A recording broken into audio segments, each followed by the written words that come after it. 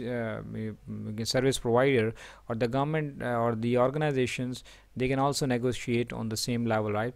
How much inflation is there so and how we are going to set the wage rate for the employees as well right? So in short consumer price index is the goods that we take uh, there are several goods we take their previous prices and the current prices and then we can assign the weight to it and we find the changes and based on that change then we can find the percentage as well right? Okay now the question is why there is inflation? What are the factors which causes inflation why there's an there is inflation in an economy right? So there are various factors. One is called as um, demand pull factors cost push, uh, cost push factors import cost factors expectations excessive growth in the money supply and there are various others as well right? So here a few uh, common factors are mentioned. Now the first one is demand pull factors. Now as the name clarifies right demand pull mean anything uh, any rise in the price which is caused by the excessive demand. Now why demand increases? Maybe there is more people are getting more income right? Um, there there's more job opportunities or there are more incomes to the people overall. So when there's more money the people do have. So as per keynesian law their income increases your expenditure increases. Means now you are going to spend more money right? So when the overall demand increases so the prices will rise. Now take a simple example right? For example previously the demand for the sugar in a country was let's suppose um, 50 million tons right now uh, people might be using more sugar because of any reason let's suppose right? So but the production is the same. So what will happen? The companies will sell it at a higher price. So in other words it is inflation resulting from the persistent excess of aggregate demand over aggregate supply. So in short when aggregate demand increases right when aggregate demand increases here is aggregate demand exceed the aggregate supply right? So what will happen? The prices will rise. True? Same same is the case uh, on the other hand sorry the second factor is cost push inflation. Sometimes it happens that the demand remains the same but the cost of factor of production rises regardless of the uh, supply right? Now what happened? The supply aggregate supply is the same aggregate demand is the same but cost of production increased because of any reason. For example simple uh, example i'll give you. Let's suppose we are importing oil right?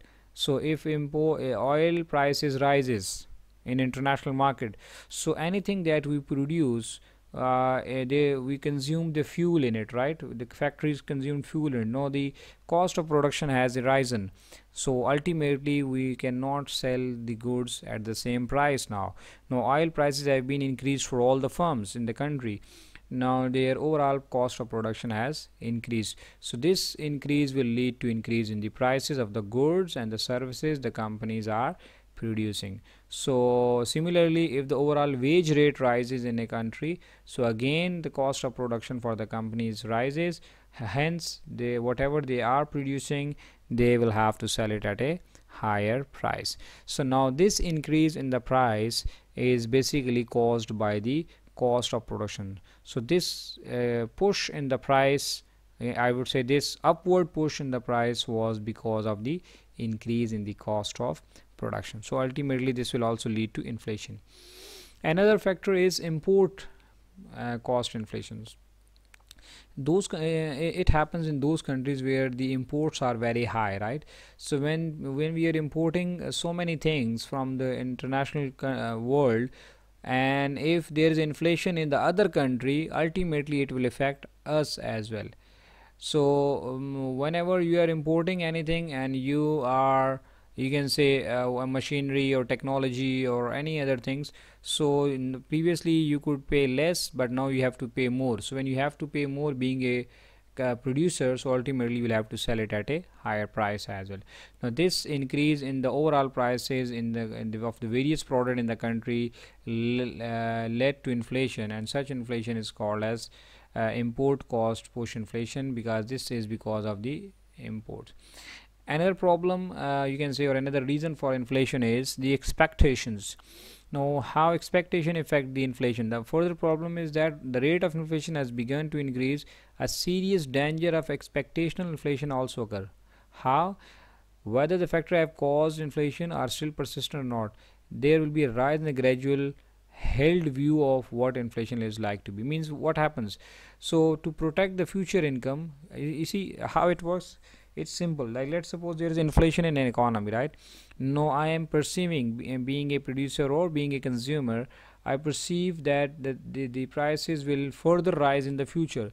So what i'm going to do? I am purchasing more right now. So this will increase the aggregate demand. And again we have studied earlier as we studied earlier that uh, uh, this push in the aggregate demand will be further increasing the price. No nothing happened. There was no increase in the aggregate demand but just based on my expectations because i expected that the uh, because of the happening all around or the because of the current scenario what be, uh, i feel as an individual so as a consumer or as a producer that this is going to uh, le lead a uh, inflation spiral. So i will be trying to increase my um, consumption. On the other hand the producer will try to save their uh, incomes right? They'll protect their future incomes wages and the prices will be raised now by the expected amount of future inflation right so this is how it works. Like now it's 5% inflation and if I give the loan to another person so I will not give it at a 5% because I know in future it will be 8% so I'll be giving him a loan at a 10% right? So everybody is trying to protect his income or his uh, you can say uh, expenditure uh, income by spending more or by saving more right? So this all will lead to higher an increase in the prices. Another reason which is most common is uh, another common reason is money supply when there is excess money supply it also leads to inflation. Monitor says that uh, inflation is also controlled by the supply of money right? Because the central banks are supposed to control the money supply. So money supply controlling means that they are uh, supplying the money in the economy as per the demand. If the demand is 100 billion um, you can say pound or dollar whatever and we have supplied uh, more than that. We means the central bank have supplied more than it. So now people have excess money and this excess money uh, means this uh, there's no production against it.